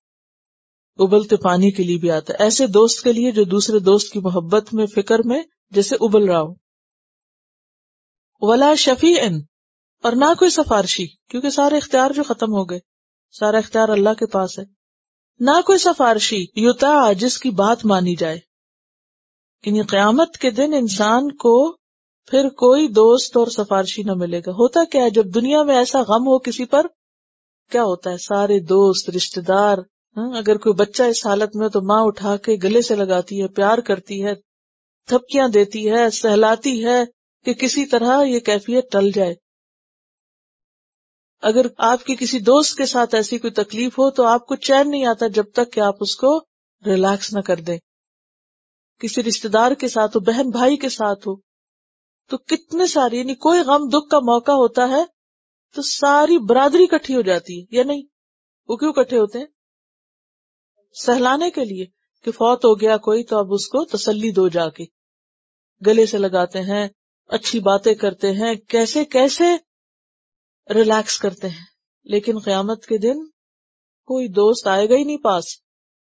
اب آپ خود سوچے، جسمانی تکلیف میں بھی انسان کو دوسروں کی مدد کی ضرورت ہوتی ہے، لیکن ایموشنل سیٹ بیک جو ہوتے ہیں ایموشنلی جب آپ بہت ایگزاسٹ ہو جاتے ہیں، تو اس وقت آپ کو انسانوں کی ضرورت زیادہ ہوتی۔ مثلا شدید خوف کی حالت میں آپ کا کیا دل چاہتا ہے؟ کہ کوئی ہو جو پاس ہو جو میری مدد کرے۔ اگر خواب میں بھی کبھی آپ ڈر جائیں نا، تو اس وقت بھی کیا دل چاہتا ہے کہ کوئی ہو؟ شدید غم میں کیا دل چاہتا ہے کہ کوئی ہو؟ اسی لیے سب کٹھے ہوتے ہیں۔ شدید غصے میں بھی انسان خود سے کنٹرول نہیں کر پاتا اس غصے کو۔ اس کا دل چاہتا ہے کہ میں اپنا آپ یعنی کسی سے شیئر کروں اور کوئی پھر مجھے تسلی دے۔ کبھی آپ تھوڑا سا بھی غمگین ہو اداس ہو پریشان ہو تو فوراً آپ کیا کرتے؟ کسی کو فون کرتے ہیں یا دل چاہتا ہے کہ کوئی آ جائے یا خود چلے جاتے ہیں، تو اس سے کیا ہوتا ہے؟ ذرا سا دل بہل جاتا ہے، باتوں میں لگ جاتے ہیں، بہل جاتے ہیں آپ۔ لیکن قیامت کے دن کیا فرمائے؟ مال الظالمین من حمیم ولا شفیع یتا پھر کیا ہوتا ہے کہ خدا نخواستہ دنیا میں اگر کوئی بیمار ہے، کوئی کسی ایسے صدمے کا شکار ہے، تو فوراً ڈاکٹر کا انتظام کرتے ہیں، لے جاتے ہیں، آگے مدد کرتے ہیں، سپورٹ کرتے ہیں۔ لیکن وہاں تو کسی کی نہ سفارش کام آئے گی کہ کوئی آگے جا کے اللہ تعالیٰ سے ریکویسٹ کرے کہ اللہ تعالیٰ دیکھے نا یہ شخص اب اتنا غمگین ہے، آپ چھوڑ دینا، اس کو معاف کر دے۔ اتنا دکھی ہو گیا یہ شخص، اتنا خوف زدہ اس پہ رحم کر دیں۔ نہیں، وہاں نہیں چھوٹ ہوگی۔ تو بات یہ ہے کہ قیامت کا دن کوئی معمولی دن نہیں ہے۔ نبی صلی اللہ علیہ وسلم کو کیا کہا جا رہا ہے بار بار؟ آپ ان کو ڈرائیے، آپ ان کو خبردار کیجیے، آگاہ کیجیے کہ یہ ہونے والا ہے۔ لیکن ہمیں یقین ہی نہیں آتا کہ یہ ہونے والا ہے۔ اور اگر آج ہم کسی پہ ظلم کریں گے، زیادتی کریں کسی کو دھوکہ دیں گے، تو کل پکڑے بھی جائیں گے۔ یہ سوچ آخ ہی نہیں دیتی۔ حالانکہ اقترب للناس حسابهم وهم في غفلة موردون۔ وما يدريك لعل الساعة تكون قریبا. يعلم خائنة العيون اب ظالمین کے پیچھے بات ہوئی نا؟ ظلم. تو ظلم کی کئی قسمیں اور ان میں سے ایک خیانت. اور خیانت، نگاہ کی خیانت بھی خیانت ہے. یا علم وہ جانتا ہے خائنت العیون نگاہوں کی خیانت کو. خائنہ یا تو فائلت ان کے وزن پر مصدر ہے بمانا خیانت یا پھر خائن خیانت کرنے والا اور اس کے آگے جو تے لگی ہوئی ہے خائنہ تن کی، یہ مبالغے کے لیے یعنی بہت زیادہ خیانت کرنے والا۔ اور آئین کس کی جمع ہے؟ آئین کی۔ نگاہوں میں جو سب سے زیادہ خیانت کار ہے یا پھر جو خیانت کرنے والی نگاہ ہے، اس کو بھی اللہ جانتا ہے یعنی چور نگاہوں کو اللہ جانتا ہے۔ چور نگاہ کون سی ہوتی ہے؟ نگاہ کی خیانت کیا ہے؟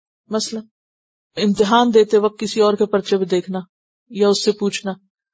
پوچھنا تو خیر بڑی بات ہے، دیکھنا بھی جو ہے یہ خیانت ہے۔ اسی طرح ہر وہ چیز جس کا دیکھنا حرام قرار دیا گیا ہے، جیسے عورتوں کے لیے مرد کو یا مرد کے لیے عورت کو شہوت کی نظر سے دیکھنا، یہ نگاہوں کی خیانت ہے۔ جیسے ایک نظر جو اچانک پڑ جائے وہ تو الگ بات ہے، لیکن یہ جو دوسری نظر ہے نا، دوسری یعنی ایک دفعہ دیکھنے کے بعد پھر پلٹ کر دیکھنا، یہ خائنت العین ہے۔ کسی کو نہیں پتا کہ کس نے کہاں کیا دیکھا، کسی کو خبر ہی نہیں۔ لیکن اللہ کو سب پتا ہے۔ یا خائنت العین، وہ نگاہوں کی خیانت بھی جانتا ہے کہ کون سی نگاہ کہاں کہاں بھٹکی۔ وہ تخفی الصدور، اور آنکھ تو دروازہ ہے نا، آنکھ کے بعد، نگاہ کے بعد جو دل میں اترا اور دل نے چھپا لیا، وہ بھی اس کو پتا ہے۔ کہ کس کے دل میں پھر کیا ہے؟ یہ کیوں کہا گیا یہاں پر؟ تاکہ انسان محتاط رہے کہ انسان کے اعمال صرف ہاتھوں یا پاؤں سے کرنے والے کام ہی نہیں، اس کا امال نامہ جو ہے وہ نگاہوں کی حرکت اور نگاہ کے عمل اور دل میں جو کچھ ہے، اس پر بھی مشتمل ہوگا۔ اچھا اسی لیے ہمیں وہ دعا بھی سکھائی گی نا اللہ متحر قلبی من النفاق وعملی من الریا و لسانی من القدب وعینی من الخیانہ فإنك تعلم خائنة الآیونی وما تخفی الصدور. تو نمازوں کے بعد اور قبولیت کے اوقات میں یہ دعا مانگنی چاہیے، کیونکہ انسان ہے نا، کمزور ہے۔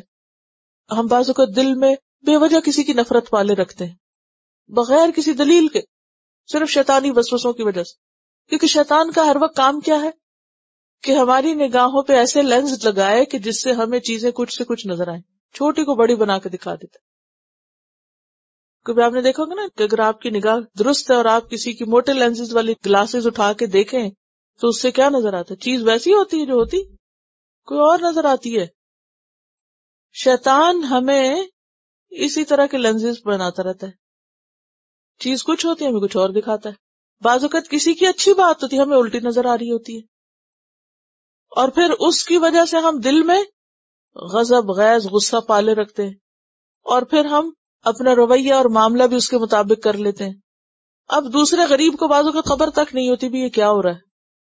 اب شیطان پوری طرح کامیاب ہو رہا ہے اپنے کھیتی لگانے میں۔ تو اس عمل سے انسان کس طرح رک سکتا اور بچ سکتا ہے؟ صرف ایک ہی چیز اور وہ اللہ کا ڈر ہے۔ کہ اللہ جانتا ہے جس چیز کی کوئی بنیاد نہیں، دلیل نہیں، اسے بس صرف ایک وسوسے کی حد تک ہی رہنا چاہیے اور اس کے بعد اس کو صاف کر دینا چاہیے۔ لیکن انسان کے بس میں نہیں ہوتا تو دعا کرنی چاہیے کہ اللہ میرے دل کو نفاق سے اور زبان کو جھوٹ سے اور آنکھ کو خیانت سے بچا لے۔ کیونکہ سب منافقت کی علامتیں ہیں نا۔ کیونکہ ہم کہتے ہیں نا، منافق کون ہوتا ہے جو خیانت کرتا ہے؟ تو کبھی سوچا ہم نے کہ منافق آنکھوں کی بھی خیانت کرتا ہے؟ ہم سمجھتے وہ کوئی ہمارے پاس چیز رکھ کے جائے تو اس میں کچھ نکال لے تو بس وہ خیانت ہوگی۔ نہیں، خیانت تو نگاہوں کی بھی خیانت ہے۔ واللہ یقدی بالحق، اور اللہ فیصلہ کرے گا حق کے ساتھ۔ یعنی قیامت کے دن جب کسی کے حق میں فیصلہ ہوگا تو صرف ظاہری نیکیاں نہیں دیکھی جائیں گی، نیتیں بھی پیچھے سے دیکھی جائیں گی۔ اور وہ کیا کیا کام کرتا رہا؟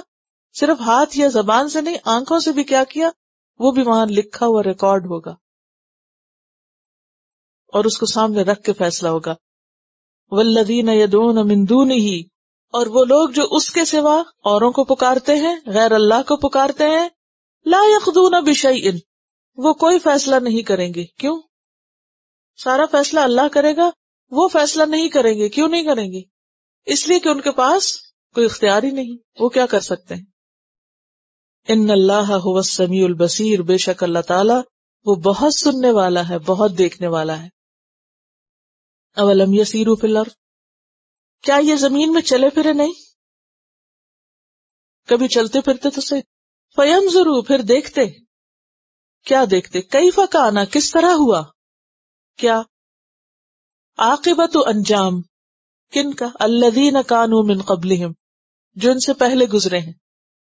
یہ زمین میں چلے پھرے اور سیر دو طرح کی ہوتی ہے نا، ایک تو خود جانا اور ایک کتابیں پڑھ کے دیکھنا، تاریخ کا مطالعہ کرنا، اور اب تو دیکھنے کی اور بھی بہت سی صورتیں بہت سے ایسے مقامات جہاں ہم خود نہیں پہنچ سکتے تھے ڈاکیومینٹریز دیکھ کے تو بہت کچھ جان لیتے۔ لیکن ان کو دیکھتے ہوئے بھی نگاہ عبرت کہاں ہوتی؟ جبکہ اللہ تعالیٰ کیا فرما رہے فیم ضرور پھر وہ دیکھتے کئی فکان عاقبت الدین کانو من قبل کہ ان سے پہلے لوگوں کا انجام کیا ہوا؟ کیا گزری ان پر؟ اب دیکھیے کہ انسانی تاریخ کا اگر آپ مطالعہ کریں تو ایک نہیں، بے شمار تہذیبیں ہیں۔ ایک ایک نے آ کر اپنے ترقی کے جھنڈے گاڑے اور کیا کیا اپنا شاندار تمدن اور سولاشن اسٹیبلش کیا۔ اور پھر اس کے بعد کیا ہوا؟ ختم ہوا۔ اور پھر زمین میں دب گیا۔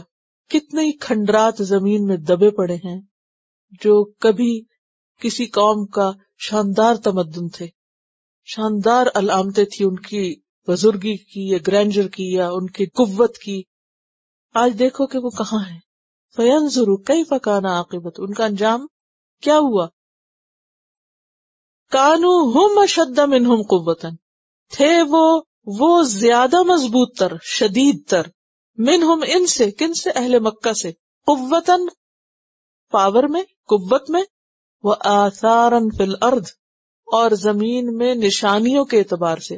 آثار اثر ان کی جمع ہے۔ یعنی ان کے جو نشانیاں تھیں، عظمت کی، وہ بھی بڑی بڑی تھی لیکن کیا ہوا؟ اخذہم اللہ بجنوبہم اللہ نے ان کو ان کے گناہوں کی وجہ سے پکڑ لیا۔ اپنی نشانیاں چھوڑنے کا شوق کس کو ہوتا ہے؟ سوچیے ذرا، کون اپنی نشانیاں چھوڑتا ہے؟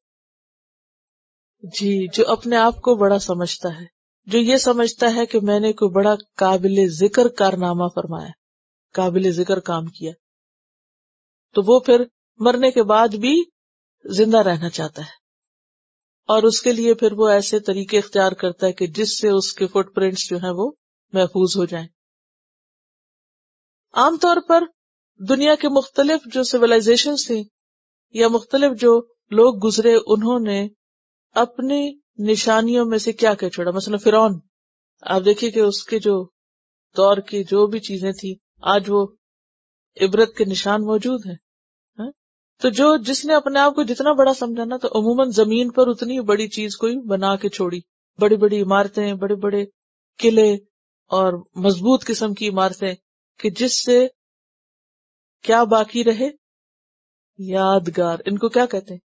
یادگار۔ یادگاریں چھوڑی انہوں نے۔ یہاں پر آثار بمانا کیا ہے؟ یادگار۔ وہ آثار فل ارتھ یعنی دنیا کی تاریخ میں ایک نہیں، بے شمار تہذیبیں ایسے واقعات سے بھری پڑی۔ اگر آپ ہسٹری پڑھنا شروع کریں تو پڑھ پڑھ کے تھک جائیں۔ لیکن ان کے ساتھ کیا گزری؟ کہاں گئے وہ؟ بعض کے تو صحیح نام بھی نہیں پتا۔ اگر مزید جاننا چاہے تو نیشنل جیوگرافک کی مختلف جو ڈاکیومنٹریز ہیں یا ان کے جو آرکائیوز ہیں، اس میں دیکھ لیں۔ اللہ بنوب پکڑ لیا ان کو اللہ نے ان کے گناہوں کی وجہ سے۔ جب کسی قوم میں ظلم ہونا شروع ہو جاتا ہے یا جب زیادتیاں ہوتی ہیں تو پھر بچتے نہیں۔ امام ابن تیمیہ کہتے ہیں کہ کفر کے ساتھ ایک حکومت چل سکتی ہے، ظلم کے ساتھ نہیں۔ یعنی جہاں ظلم ہونا شروع ہو جاتا ہے، وہاں اقتدار ختم ہو جاتا ہے۔ ظلم کے ساتھ کوئی پنپ نہیں سکتا۔ گھروں میں بھی آپ دیکھیں۔ جن گھروں میں مثلا بچوں میں سے کسی ایک پہ ظلم ہوتا ہے، اس کو حصے سے محروم کر دیا جاتا ہے، یا کسی بھی اعتبار سے، تو وہاں ترقی نہیں ہو سکتی۔ خوشحالی نہیں ہو سکتی۔ خوشحالی کب ہوتی ہے؟ گروتھ کب ہوتی ہے؟ جب ہر صاحب حق کو اس کا حق ملے۔ اور کسی بھی کام میں سب مل جل کر آگے بڑھے اور جہاں ظلم ہوتا ہے، وہاں اندھیرا ہوتا ہے اور وہاں انسان نیچے چلا جاتا ہے۔ اللہ بذنوبہم یعنی اللہ نے ان پہ ظلم نہیں کیا۔ وما کان لہم من اللہ من واق، اور نہ تھا ان کے لیے اللہ کی طرف سے کوئی بچانے والا۔ یہ وہی لفظ ہے جو پیچھے آپ پڑھتے واؤ کافی اس کا روٹ ہے۔ وقیم جو پیچھے پڑھا نا آپ نے۔ تو واقن بھی ہے۔ ذالکا یہ کیوں ہوا؟ اور اس میں اشارہ بعید ہے، پھر یاد رکھیے۔ بے ان اس وجہ سے کہ وہ کانت رسولہم بالبینات۔ آئے ان کے پاس ان کے رسول بینات کے ساتھ۔ بینات سے مراد موجزات فکفرو تو انہوں نے انکار کر دیا۔ کس کا؟ پیغمبروں کی بات ماننے کا۔ فاخذہم اللہ، تو پکڑ لیا ان کو اللہ نے۔ انہو قوی شدید العقاب، بے شک وہ قوت والا ہے، سخت سزا دینے والا ہے۔ اور عقاب یہاں بمانا عذاب ہے۔ اور وہی لفظ ہے عقب سے اور جزا کے معنوں میں، لیکن بری جزا کے لیے آتا ہے۔ تو ان قوی شدید القاب اللہ بہت قوت والا ہے، سخت پکڑ والا ہے، سخت سزا دے سکتا ہے۔ تو کوئی بھی شخص یا قوم کتنی بھی قوت اس زمین میں حاصل کر لے، لیکن اگر وہ اللہ کی نافرمانی کرتی ہے، تو وہ ہمیشہ باقی رہ نہیں سکتی۔ اور ویسے بھی اللہ نے کسی کو یہاں بقا دی نہیں۔ ہر اونچی جانے والی چیز کو ایک نہ ایک دن نیچے آنا ہی ہوتا ہے۔ نہ کسی انسان کے لیے بقا ہے اور نہ کسی قوم کے لیے۔ اور انسان کی عقل مندی اور فائدہ کس میں ہے کہ جب وہ اس دنیا سے جائے تو اللہ کی رضامندی کے ساتھ جائے، جانا تو ہر ایک نے۔ لیکن عموماً جو لوگ تکبر کرتے ہیں وہ نافرمانی کے ساتھ دنیا سے رخصت ہوتے چلیے، تلاوت سننی بھاگ نہیں سکتے نا کہیں۔ ہر چیز کی ملاقات کا دن ہے وہ۔ چونکہ یوم طلاق میں کس کس چیز کی ملاقات ہے؟ ہر وہ چیز جو آج ہم سے دور ہے، یا جس سے ہم دور ہیں، وہ اس دن سامنے آ جائے گی۔ کیونکہ حشر کا دن ہے نا، سب اکٹھے ہوں گے۔ جب اگلے، پچھلے سب ایک جگہ جمع ہوں گے اور سب کے امال نامے بھی ہوں گے اور سب کے کاموں کی تفصیل بھی ہوگی اور سب لین دین والے بھی، تو اکٹھا ہونا جو ہے وہ دراصل یوم طلاق ہے۔ اوکے سبحانك اللهم وبحمدك نشهد ان لا اله الا انت نستغفرك ونتوب اليك السلام عليكم ورحمه الله وبركاته Quran vocabulary 100%. The best application to understand Quran. Study with flashcards. Word list. Learn 25% of Quran vocabulary in 7 days. Multiple MCQs to practice and test vocabulary. Single choice. Multiple choice. True false. Bookmark difficult words. Study wrongly answer words. Test your skills. 12 essential grammar lessons at Learn Quranic Grammar. You can select number of word to study from bookmarks. Select number of times wrongly answered words for study. Test your skills with multiple choice, flashcard, true false, matching words and single choice MCQs. Grammar lessons are available in PDF format, native Quranic and Urdu fonts. Available at Google Play and Apple App Stores. Download it today to contribute in the Islamic Apps Development Project. Quran vocabulary 100% in Urdu. Visit smartappsweb.com.